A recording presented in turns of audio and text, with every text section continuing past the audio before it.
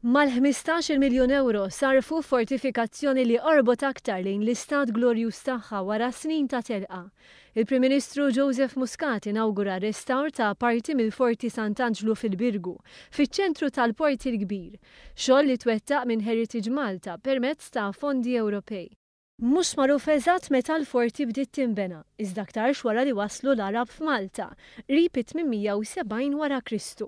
Fi żmien il-Kavallieri ta' San Ġwann f'pajjiżna, saret is-sede tal-Gran Mastru. Mal-wasla tal-Ingliżi mbagħad saret il-bażi ta' żewġ battaljuni. Fit-Tieni Gwerra Dinjija sofriet kważi 70 balla diretta. Meta l-forzi Ingliżi telqu minn Malta, il-forti ingħatat lill-Gvern Malti u minn dakinhar waqgħet fi stat ħażin. Illum għandha tliet sidien, parti tal-Ordni tal-Kavallieri, parti f'idejn konsorzju privat u parti f'idejn l-Istat. Il-Prim Ministru ra dħar li l-ħaddiema tal-ITU tas-sena, li fi ħdan Heritage Malta, wettqu xogħol mill-iprem biex il-parti tal-Istat ingħatat dinjità tant mistħoqqa. Kif osserva l-Prim Ministru, ir-restawr fil-forti kien ilu jsir diskors dwaru mill-2007, iżda kien biss issa li tlesta, f'ħin opportun biex jospita mexxejja ta' 53 pajjiż tal-Commonwealth.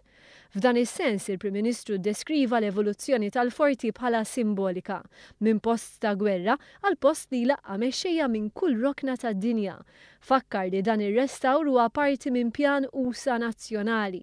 Infatti ftit tal-jiem ilu ħarġet sejħa għall-espressjoni ta' interess biex il-privat joħroġ b'ideat għall-użu tat-tieni parti tal-Forti Sant'Iermu.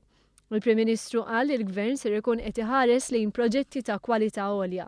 Naħseb waħda mill-ideat li ħarġet mid-diskussjoni li kellna fuq l-American University fejn kien hemm ħafna nies jgħidu jekk għax ma tużax postijiet storiċi. Iva, idea tajba, ejja nużawhom postijiet storiċi biex nattiraw l-investiment biex jkollna mhux biss vetrini imma jkollna postijiet fejn noħolqu karrieri u postijiet tax-xogħol.